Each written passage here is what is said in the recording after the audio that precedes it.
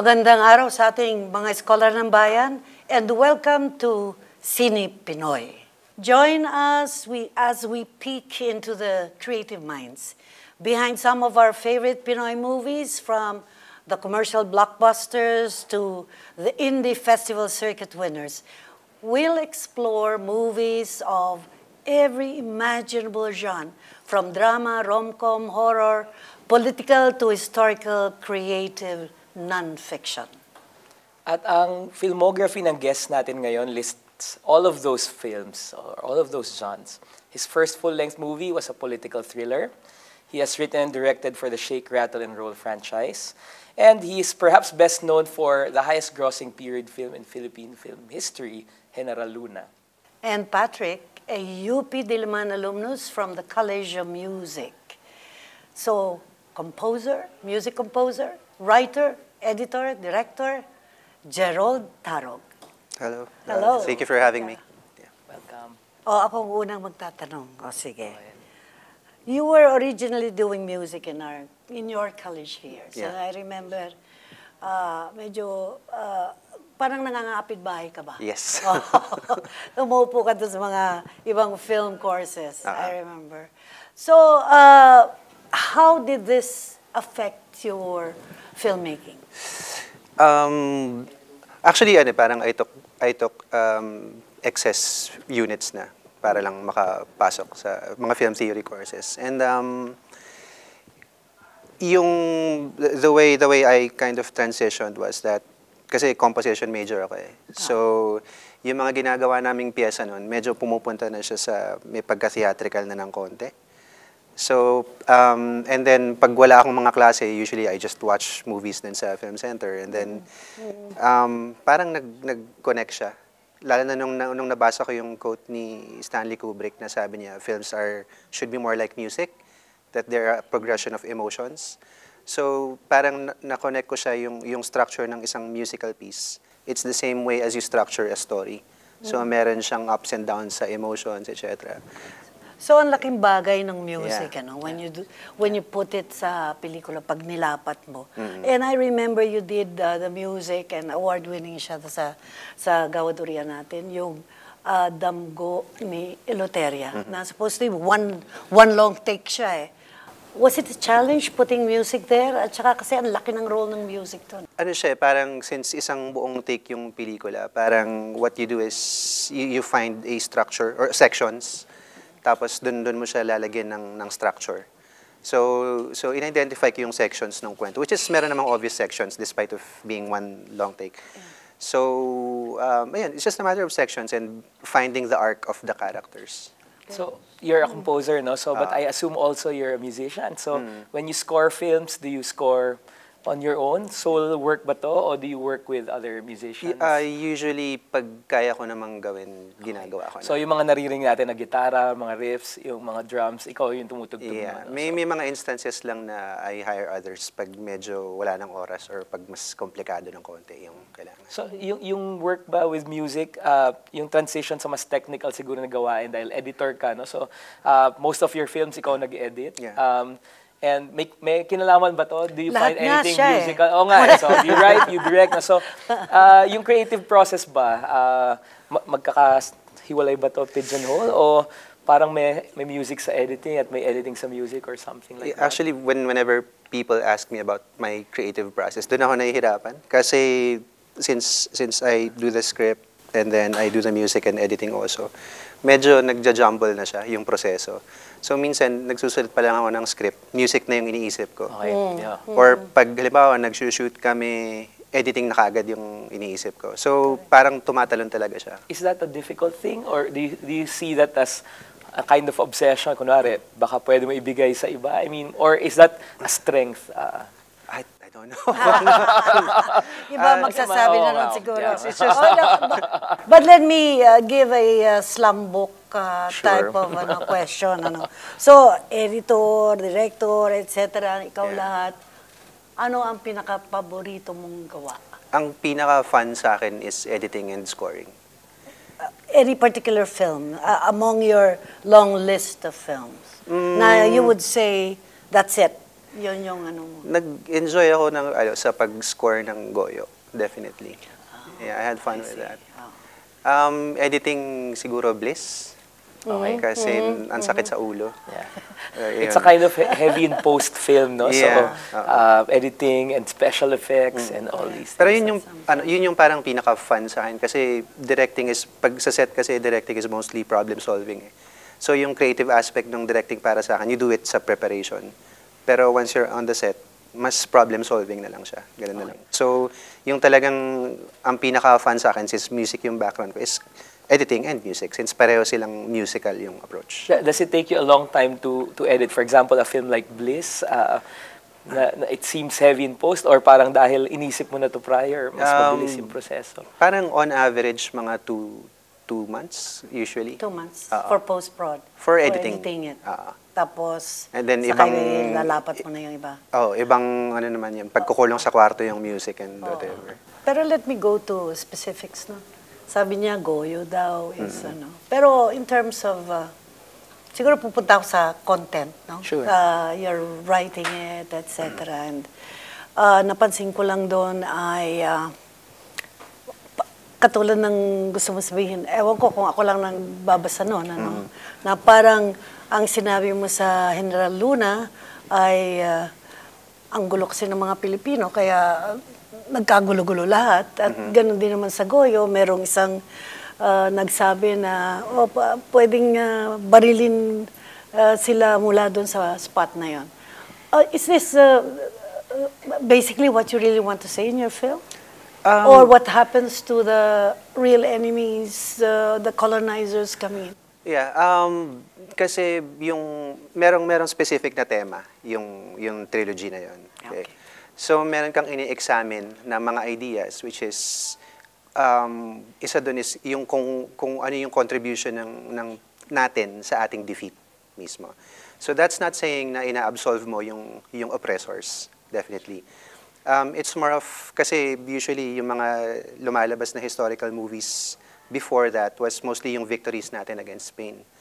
Pero halos na-ignore yung defeat natin versus the Americans. So, um, base lang dun sa, nakarestrict ako dun sa tema nung, nung trilogy. So, ang ini-examine ko is kung ano yung kung ano yung contribution ng Pilipino dun sa pagkatalo natin without really saying na walang kasalanan yung Oo.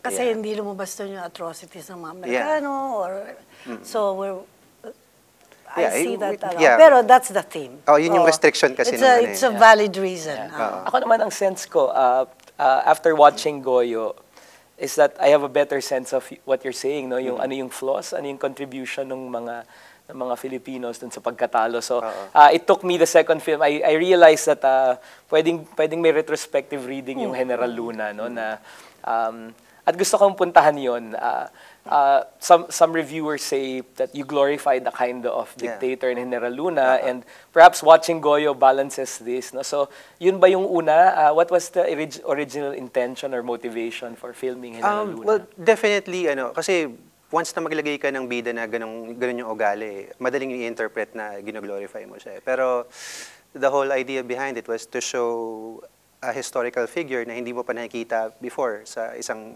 sa context ng Philippine cinema. So, hindi pa tayo nakakita ng ganun. Yun yung una. And then, pangalawa, magpakita ka ng isang historical figure na may ginagawa siya na sometimes you agree with him, but sometimes you also disagree. So, I leave that for the audience, yung space na yon para mag-reflect. Ayoko kasi na ipakita ko siya tapos sasabihin ko na masamang tao to kaagad or mabuting tao kaagad. So, may merong ambiguity ng konti. Gusto kong pumasok din dyan. Sure. In Ah, terms of yung uh, pagpipicture mo ng ating mga bida. Ah, napansin ko ay in terms of gender, ah, yung ating, so pagka-feminista ko ay lumalabas dito, at ah, puro playboy itong Yeah. ating mga mga heroes. Now, is that uh, a given thing na dito sa trilogy mo ay lahat ito ay mga babaero? It's o- it's a consequence of ano lang, kung sino lang kasi yung napiling. Parang parang naging ano na lang siya. Okay. Hindi siya parang, "Uy, ito babaero to, kukunin ko to." Hindi siya ganun. It just so happens na um, base dun sa tema ng trilogy, sila yung yung angkop ng mga tao na pwedeng mag-represent ng mga pwedeng pag-usapan dun sa pelikula. Kaso lang nga, ang problema is playboy sila. So, siguro mas maganda po mag-backtrack. Ah. So, bakit sila? Uh, I mean, can you tell us about yung paano tayo, paano ka nakarating doon sa, well, we'll make a film about film, the film period, Ah. and etong tatlong taon na to yung gagawan ng pelikula. Yan. Um, paano ba? Paano It's- napili? Oh, paano napili? Yeah. Um, well, I kind of call it ano, eh, parang problematic people trilogy na parang so so medyo ganun siya na um, in a way it's an informal trilogy of Aguinaldo. Kasi um, Aguinaldo as how history sees him. Parang ganun siya. So pinili ko yung tatlong tao na pwedeng pwedeng mag-evolve yung arc ni Aguinaldo without Aguinaldo being the protagonist of the film. So ganun siya. Um, So, una, it's it's Luna versus Aguinaldo. And then the second film is you pick someone na nasa side naman ni Aguinaldo. And then sa third film, pwede kang pumili na someone na mas mas pipili ka ba kung, si, kung, kung kay Aguinaldo ka ba kakampi or kay Manuel Quezon. So, may ganun siya, which Very is... interesting. Pero sadya ba yung ano, hindi ipinasok rin si Bonifacio in all this? Um, yeah, sadya na yun. Kasi in the first place, nagawa na yung... Pinuduce din kasi nila Fernando Ortigas yung Bonifacio ang unang pangulo. Eh, so parang, as much as I'd like to, hindi ko na, ayoko na siyang gawin din talaga. I- I'm sure you've heard, have, have you received any like negative criticism? Dahil si Aguinaldo, of course, Mm. Uh, parang occupies this specific place in our history. Oo. And in your two films, we see him in a totally different light, no? not from the official history version. And what kinds of responses have you received from, you Ah, know, the- dami from eternal damnation to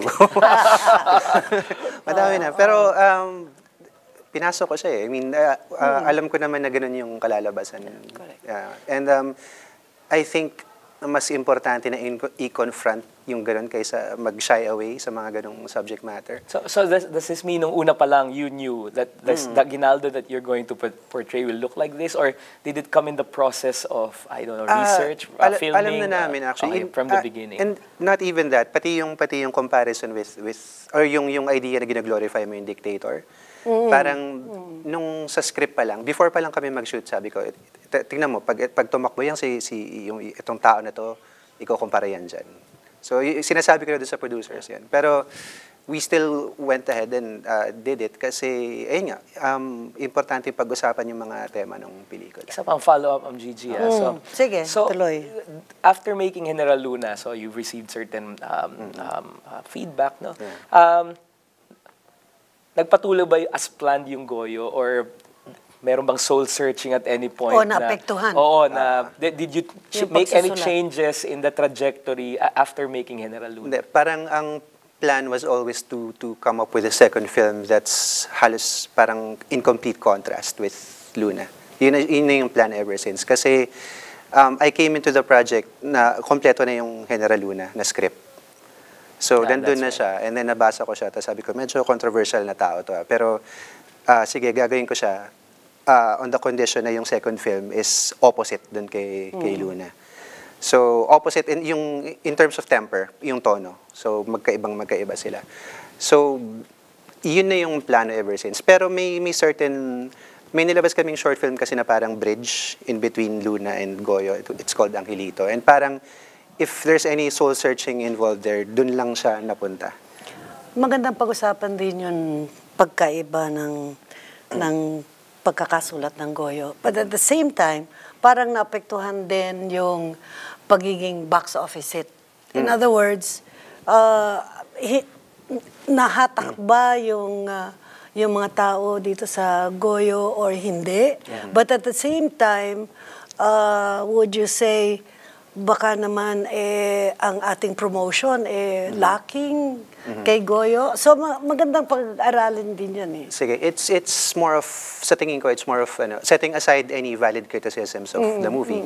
Sa tingin ko it's more of expectations ng tao. Okay. Oo. kasi um, nung pinitch ko yung project kina Fernando Ortigas, sabi ko um, i-expect nyo na na hindi siya kasing kasing loud ni General Luna. And people will come into the theaters thinking na it's General Luna again. So pag once na pag pinanood nila yon at hindi yun yung na-experience nila, hindi kasing lakas yung word of mouth. Sasabihin nila, "Ay, hindi siya parang Luna kasi ikaw compare nila. So sinabi ko na sa kanila yon. Um, pero ayun nga, um, fortunate na lang ako na game pa rin sila doon sa idea na, na gagawa ka ng isang pelikula na kontra talaga doon sa unang ginawa namin. So, um, yung idea na hindi siya kasing, kasing box office hit ng Luna, it's more of, I think, because of the expectations of certain people. Pero kasi, Yeah. marami naman na ano eh, um, I've, I've talked to a lot of people who've seen Goyo like seven or eight times, may iba ten Wow. times na pinanood. So, marami naman Yeah. ano. Pero phenomenal kasi yung ano, no, General Luna. Yeah. And uh, it's in- interesting kasi ang, ang gusto ko sabihin eh, you know, you've worked with uh, good filmmakers, kilalang mga filmmakers noon, di ba? And uh, ano ba yung natutuhanan mo sa kanila o yung yung mga iniwasan mo kaya nagkaroon ka ng hit kasi oh you work with Jeffrey uh, Yeah. Brillante and uh, Chito Chito, yeah. etc. But you know, you came on your own, Yeah. a big hit. uh, kaya ang feeling ko, baka iniwasan niya yung mga ibang.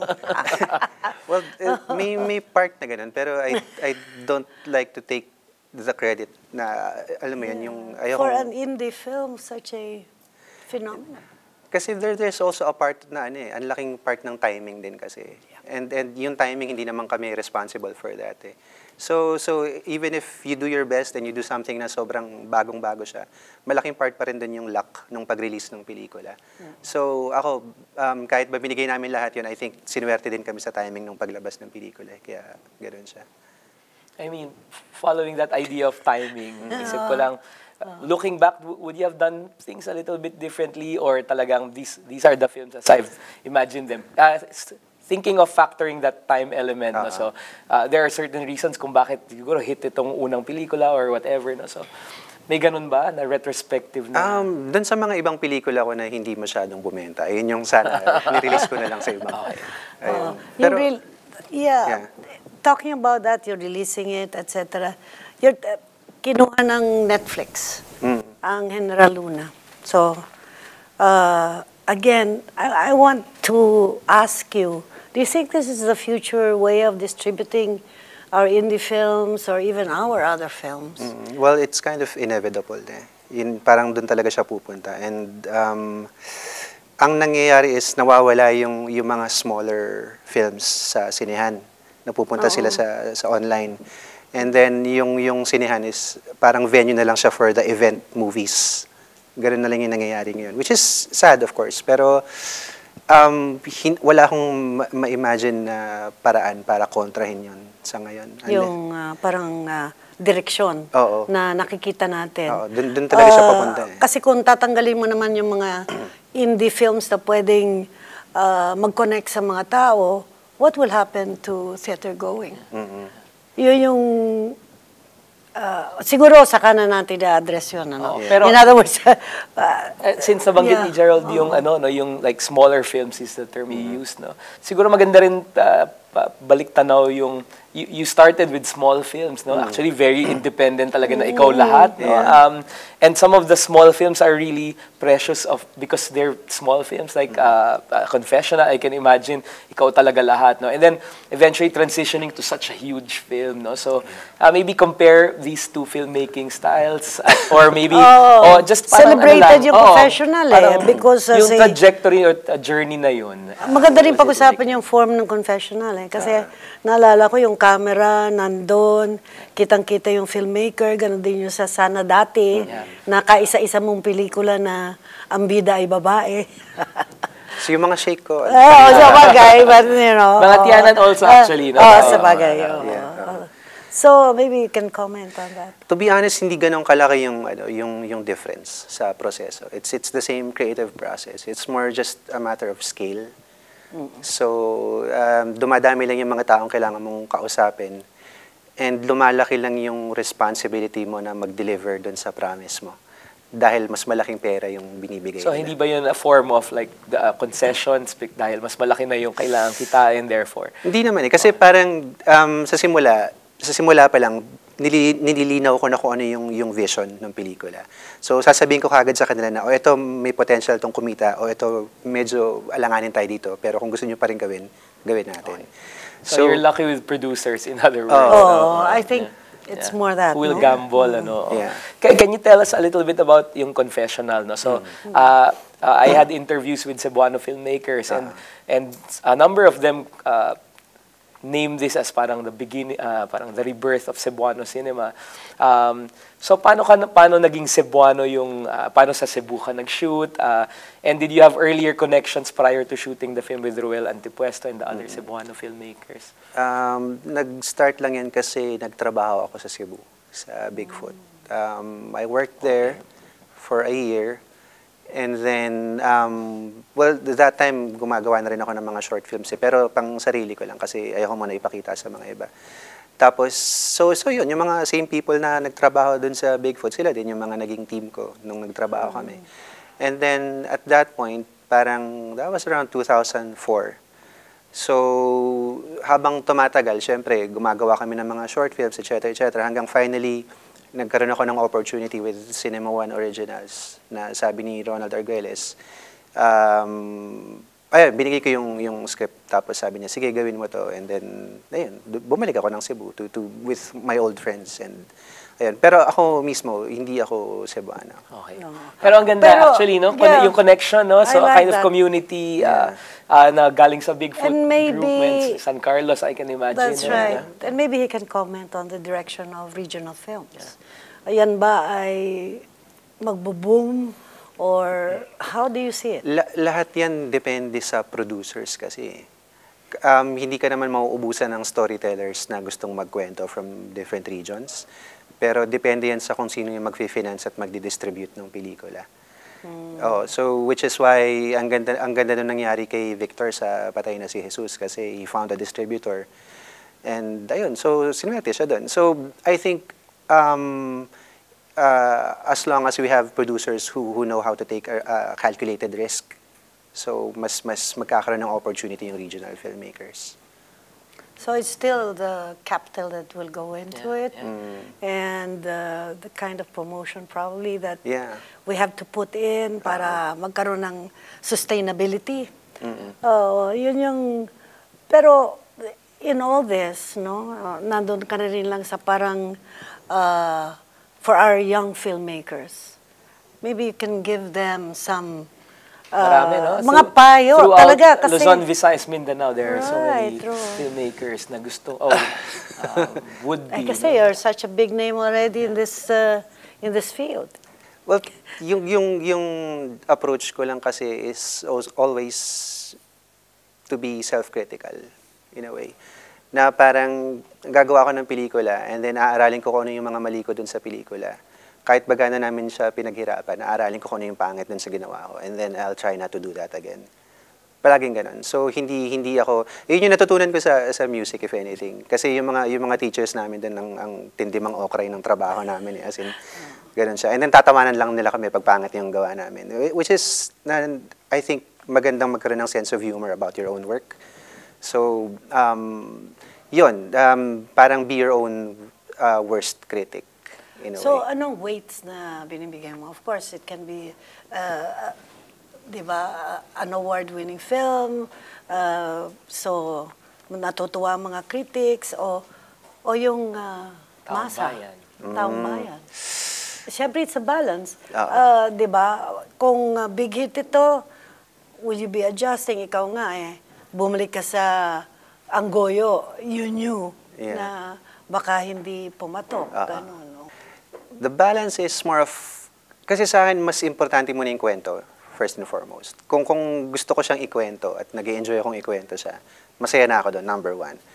Ah, pag nakakonect siya sa audience, yun yung pangalawang pri- pri- priority sa akin na nakakonect siya. Meaning, um, gumagana lahat nung, nung theories ko about how to tell this story. Naintindihan Oo, ka. so gumagana siya. Number two, pag madaming nanood, yun yung number three, box office hit siya. So parang third priority sa akin na maging box office hit siya.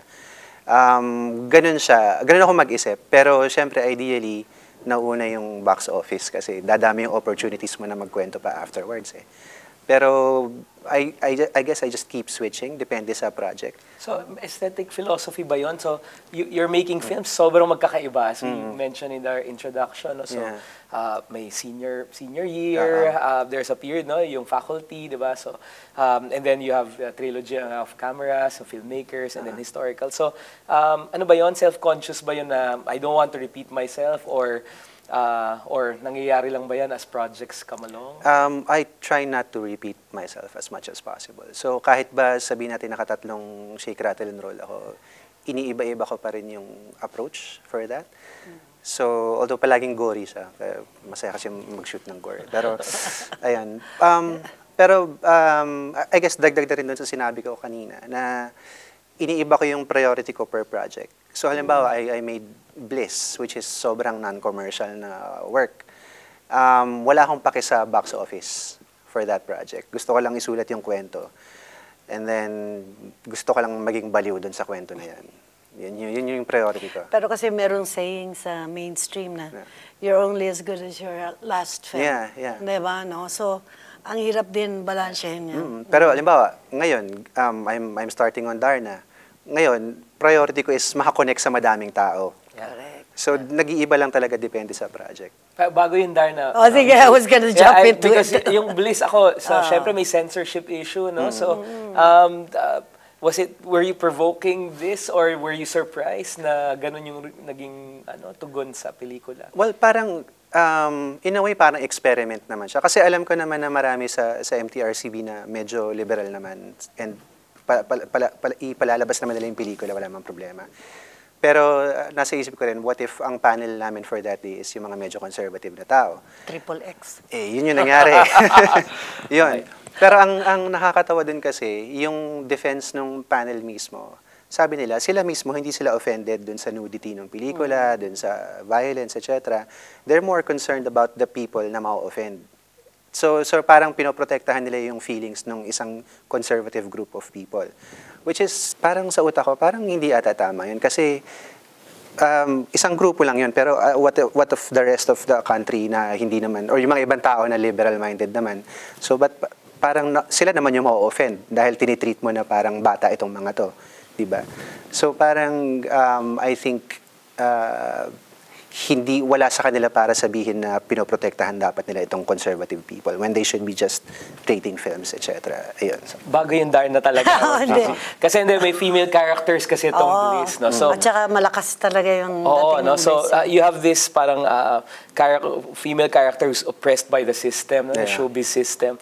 Pero ang, ang nainteresante ako sa yung portrayal dun sa nurse na uh, na parang pathological yung uh, nurse. Uh, uh, gaano ka self-conscious naman yung decision na, na lesbian pa lesbian yung nurse. So, sa akin because it's a it's a gender uh, Ah. question as well no so uh, may victim victimized ng system na babae tapos meron din yung parang nang victim tapos babae din siya at lesbian pa siya Which no? is really, uh, that means talo yung babae. Yeah, yeah. So maybe, uh, uh, ang hirap, kasi kung siya yung villain, tapos yung bida mo, eh ano, so yun din yung, no, I, I see it anong more of- pananaw mo doon? Yeah, anong defensa mo doon? I see it as an uh, equal opportunity offender na movie. So, um, kasi kung ang titignan, pag titignan mo lahat ng characters dun sa pelikula, hindi lang yung mga babae, pati yung mga, yung mga lalaki, medyo assholes din sila eh. So, lahat sila nakaka- nakaka-contribute dun sa pagkatalo ng central character, babae at saka lalaki. Which is, um, hindi siya gender issue, kundi yung sistema surrounding that that particular character. Now, um, as to the question of ano kung bakit lesbian yung character, that was actually a, a real story told to me by one of my friends na meron siyang friend na inabuso, babae to. So inabuso yung yung babaeng yun nung bata pa siya, pero ang nang-aabuso ka sa, sa kanya is babae rin. And parang she grew up na ganun yung yung thinking niya na parang she can abuse others also.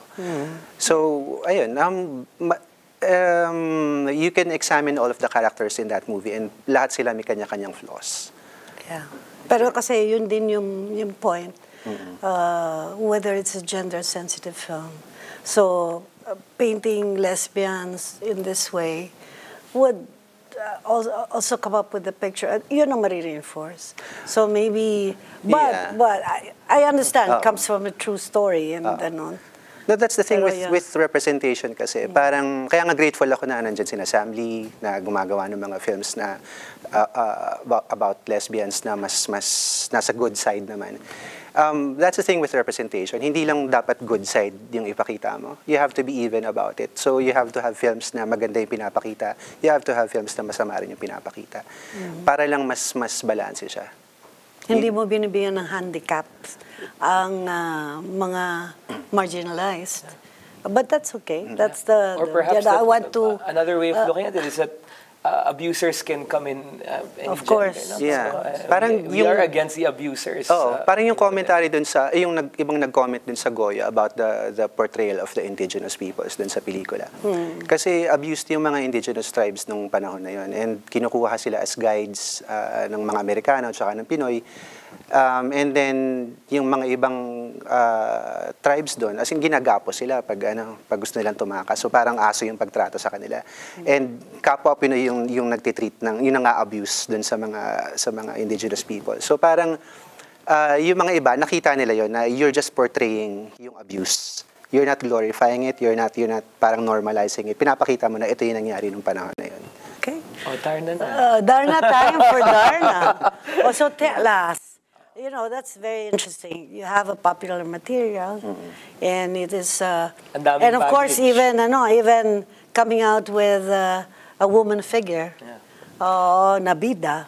No, that would be interesting. Uh, maraming baggage din, no? So, Marami dami rin nang gumawa, baggage. marami Yeah. nang naging Darna. Uh, no? So, mar- at saka expectation siya, napakataas. I know. Oh, so tayo. does that, does that make you feel medyo... uh, but of course, you tell us. Tell us what's I, I happening. try not I try not to think about expectations too much. Pag uh, nasa side pa lang ako ng writing, pag nandun pa lang ako, hindi ko siya masyadong pinag-iisipan. It's more of, uh, pinag-iisipan ko is kung nag enjoy ba ako sa pagsusulat nitong mm, kwento na to.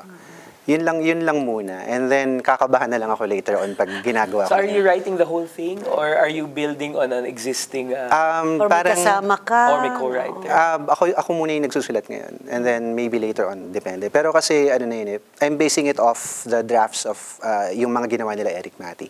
So, meron na silang, I think, naka nine na drafts na ata sila or whatever. Tapos pumipili na lang ako doon ng mga pwede kong gamitin. Is this your first film with a uh, yung talagang mainstream studio na established, no? Well, um, Re- Regal Yung was... ano, Regal. Oo, Oh, yeah. Yung Mm, mga Shake, Shake, Rattle. Roll. Ayun. So, yeah. Pero this is my So, first familiar. with Star. Yeah. Yeah, Familiar Star, ka na sa system. Oo. Pero it's more of ano eh, parang parang experiment din siya kasi kahit yung star alam naman alam naman nila yung yung proseso ko. So Oo. parang nangangapa pa kami kung paano ba kami mag-work together. That's right. Because with Kasi Regal, iba I eh. assume, Iba uh, ang- Shake, Rattle, and Roll, I'm, I, I assume you'll have a little bit more freedom because these are, you know, narratives na wala naman talagang pattern, right? Well, And at saka have- not necessarily may big star kang yeah, You have kasama. a star. uh, Yeah. you have, uh, Dep- depende kasi parang ang nangyari sa Regal, may time na nung nung kakasimula ko pa lang sa kanila, ah, medyo ah, quote unquote nangingialam pa sila doon sa sa proseso. And then at some point dum- dumating ako sa point na pinapabayaan na lang nila ako. And um, I was able to to provide them with my best work nung pinapabayaan nila ako. So, so yun yung sabi ko sa Star. So parang ito yung nangyari sa akin sa Regal, na, na nagawa ko yung pinaka-okay na trabaho ko nung hindi na, nangingialam yung producers. Which uh, ganyan na ngayon sa Darna. I hope na so. medyo I hope so.